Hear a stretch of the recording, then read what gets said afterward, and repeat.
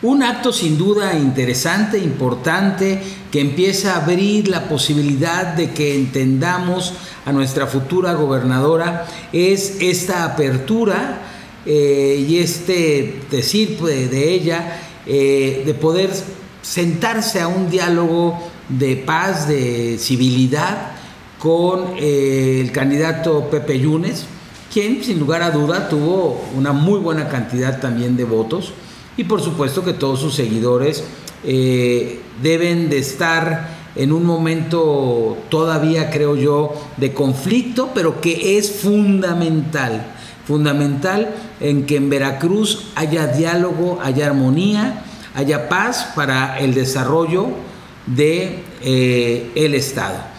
Y así como lo hace eh, abrir esta posibilidad de diálogo con Pepe, que no es más allá de una muestra de civilidad, que me parece muy sana, también eh, con dedo firme señala que el tema específicamente con Castañé, con Arturo Castañé, quien fue y es el denunciante permanente de todos los hechos posibles de corrupción, eh, dice que seguirá hasta las últimas instancias, Arturo.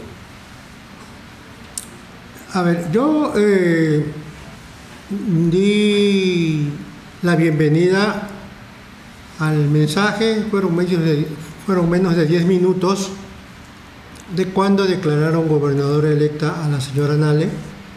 Lo recibí bien, es decir, dije, me pareció muy político, muy medido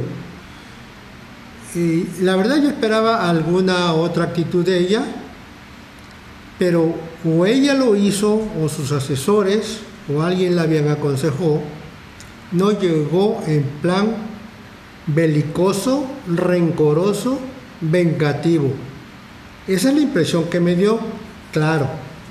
Habrá que verlo en los hechos cuando llegue al poder. Pero de entrada me pareció alentador que ella haya hablado de inclusión, de respeto al opositor, creo que eso es bueno, es necesario. Eh, si ella realmente lo piensa así y lo va a hacer así, entonces es una verdadera sorpresa eh, de que es una mujer política. Incluso ofreció, como comentas, reunirse con Pepe.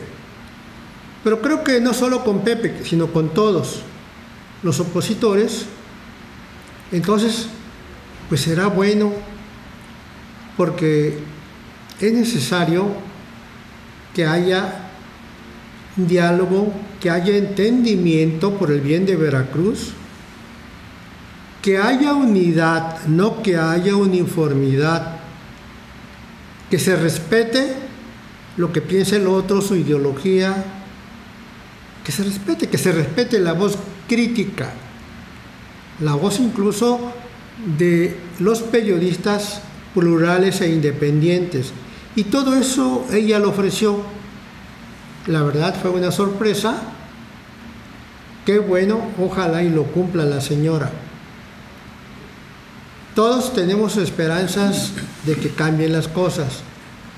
Por eso se pensó que con Pepe Yunes eso iba a ser posible.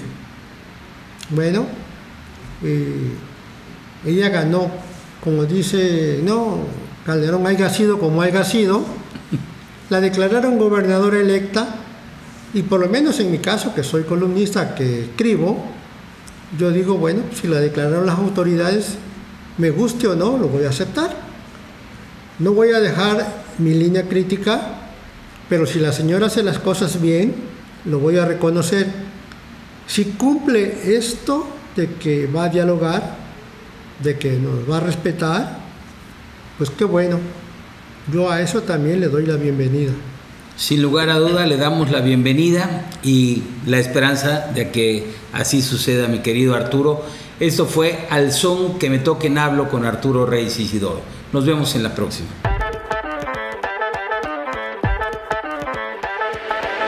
Estos 25 años hemos crecido contigo, siendo más que litros de gasolina. Encuentra con nosotros el café de tus mañanas. Nuestro compromiso es ofrecerte instalaciones limpias y de primera, con baños climatizados, esperando tu llegada. Te garantizamos litros limpios de combustible, con la mejor atención y el servicio más completo, consintiéndote a ti y a tu auto. Ferchegas, 25 años dando más.